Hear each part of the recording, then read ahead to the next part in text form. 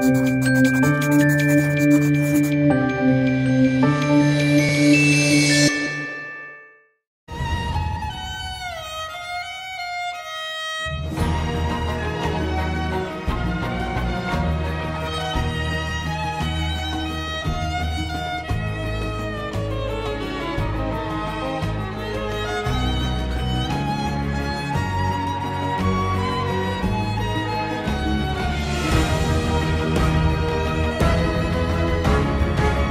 Kilómetro cero, Nazaret.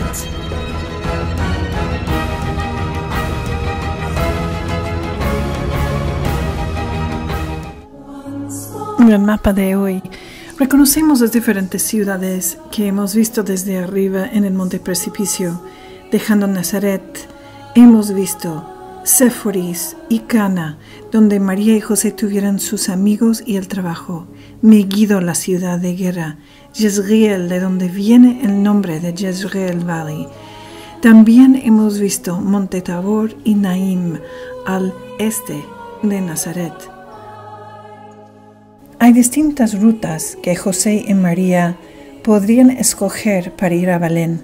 Nosotros vamos a suponer que fueron hacia Bet Shean, en el valle de Jezreel. Bet Shean es una de las ciudades del llamado Decápolis, los diez ciudades paganas o helenísticas de los griegos. Y Bet Shean era la única ciudad de estas diez ciudades del oeste del río Jordán. Desde Nazaret, uno tiene que caminar 34 kilómetros, o sea, 7 horas y media para llegar. Sería un día muy larga para María y José, pero ahí, llegando a esa ciudad grande, preciosa, en este momento del Pax Romana, podían descansar.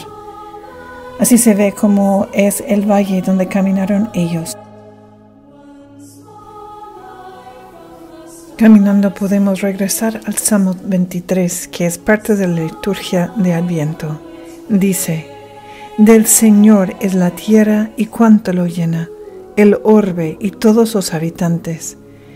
Él la fundó sobre los mares, Él la afianzó sobre los ríos.